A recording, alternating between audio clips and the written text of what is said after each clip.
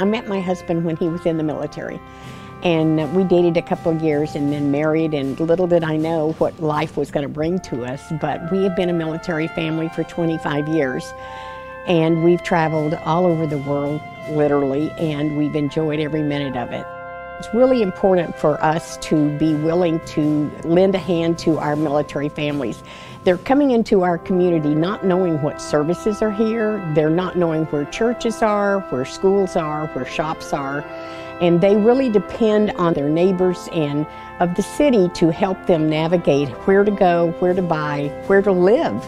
Any military family can go to the goodyearaz.gov website slash veterans and find links to go to different programs and organizations that will offer your help. I know here in Goodyear we have Little League for the kids, we have soccer for the kids, and we all have scholarships for children who need help that they are not able to afford the fees. We never turn a family away.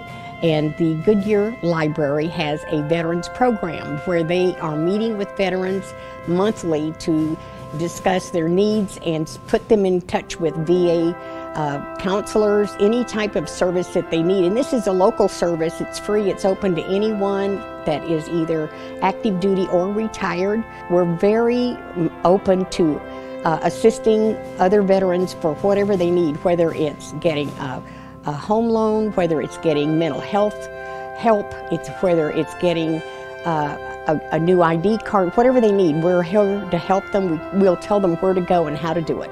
I'm very proud to be part of the Goodyear military, quote, family. And you know, uh, we're just a great organization to, to, to be a part of. And I think that the military families that come here a lot of them return because they've enjoyed not only our beautiful weather, but they've enjoyed our lovely city, and we're so happy to have them. I want to thank every single one of you for the sacrifice that you have done for our country. I know it's difficult sometimes when you leave your families at home, but a special shout out to your wonderful families who are here, holding the fort down, keeping the kids in school, keeping the home running while you are protecting our country. We would never be able to ever thank you for all you have sacrificed and done for us, but just know this is a very grateful city and a grateful nation. Thank you very much for your service.